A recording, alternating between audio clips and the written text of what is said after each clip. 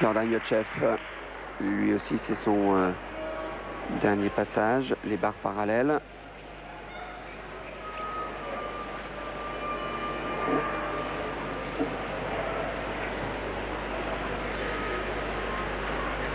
Alors lui, il peut en prétendre une place sur le podium, le Bulgare. Il faut qu'il exécute un bon passage là sur, euh, sur Ah. les barres. Salto en dessous un petit peu difficile, reprise bras, euh, bras fléchis.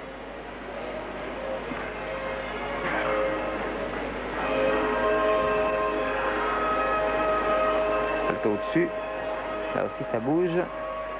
Et double carpé. Et de la faute, hein.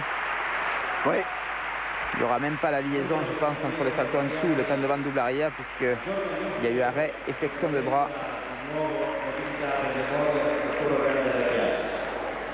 Qu'on voit ici justement la reprise du salto en dessous, bras fléchis, poussé par l'équilibre, et le temps de ventre double arrière.